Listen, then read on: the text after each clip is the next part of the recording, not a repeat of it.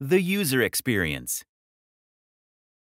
Something that goes overlooked all too often is the importance of creating a great user experience. That doesn't just mean providing great content, it also means creating a great website. That means a website that is quick to load, that looks great on mobile. Remember, this is the future of Google, and that is easy to navigate. If your website looks outdated, if it's slow to load, or if it's unsecure, then it's going to put visitors off of using your site. What's more is that Google will see these metrics and it will avoid recommending your site as often. That's why Google now has a number of tools and methods to test the quality of a website UX. Google PageSpeed Insights is an extremely important site that will let you enter your URL and then get a score based on how quickly your site loads. If this is very slow, then it's going to be extremely detrimental to your ranking. The good news is that the site also provides a number of actionable and bespoke tips that you can use to speed up your pages. Some common tips include Switch to a faster server to improve server response time. That's right, invest in your business.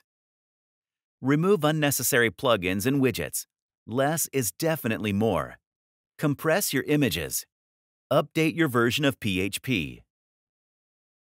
Some more general tips for creating a responsive site that people trust and enjoy spending time on. Use WordPress. There's simply no reason not to, as this is the most popular content management system site building on the web, powering one fourth of websites, and is also completely free and easy to use. Get an SSL certificate. If you want people to buy through your website, then you don't want Google to tell them that your site is not secure.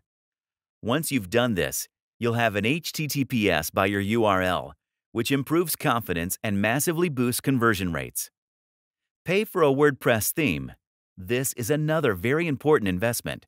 You'll be able to install this easily, and it's much cheaper than hiring someone to build something bespoke. But you'll also find it's more unique and better made than all the free options. You also need to ensure your site is mobile friendly. This means it should load well on mobile, adapt to different screen sizes, and not feature old fashioned features like mouse overs. You can't detect someone hovering their finger over a button.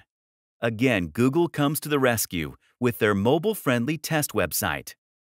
The easiest way to implement a responsive website design with touch friendly buttons? Use a ready made premium WordPress theme.